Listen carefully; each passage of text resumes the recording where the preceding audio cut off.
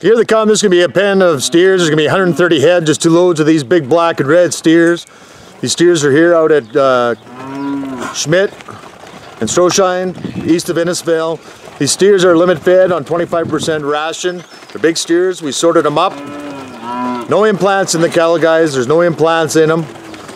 So we'll have the same as always. We'll weigh the cattle up. We'll tell you what they weigh. Have them brand inspected so you can just move them right on out. But there's gonna be two loads of these big steers. They're blacks and reds. Like I say, they're limit fed, 25% ration. No implants on the cattle. Good sort on the steers, same as always. Good quality cattle. 130 head. We sold at the Olds Auction Mart. And we'll have an actual sale weight for you the day we sell these cattle. 130 head of big steers. Kenton Carter, 130 head, two loads of steers. We'll have an actual sale weight for you. That's them. Good penic calves.